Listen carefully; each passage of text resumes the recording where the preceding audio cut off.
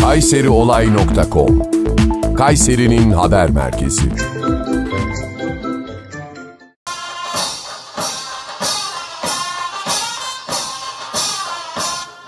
Bu güzel günde Yahyalı Belediye'mizin çok güzel bir açılışında birlikteyiz. Hayırlı olmasını diliyorum. Değerli başkanımıza hayırlı, uzun hizmet ömrü diliyorum burada kendisine.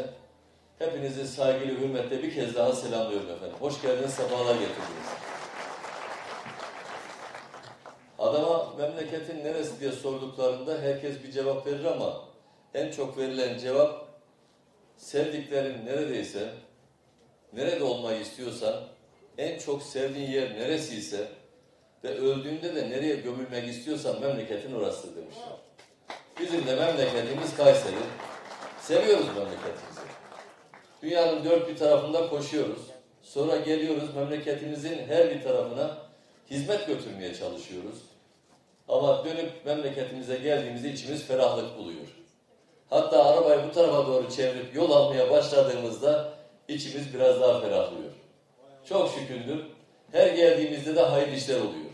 Açılışlar oluyor, temel atmalar oluyor. Güzel işlerin peşinde koşuyoruz. Yıllardır hizmet ederek sizlerin duasını almaya da gayret ediyoruz.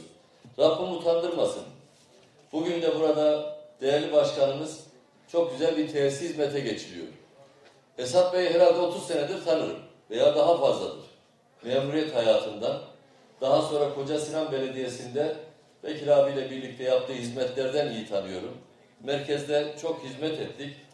Sonra da kendisine Kayseri'de istişare neticesinde Yahyalı'da belediye başkanlığı teklif edildiğinde eğer istişare böyle çıkmışsa ve siz bu şekilde uygun görmüşseniz ben de memleketime hizmet etmekten şeref duyarım dedi. Buraya geldi. ikinci dönemini tamamlıyor. Güzel hizmetler ediyor. İyi işler yapıyor.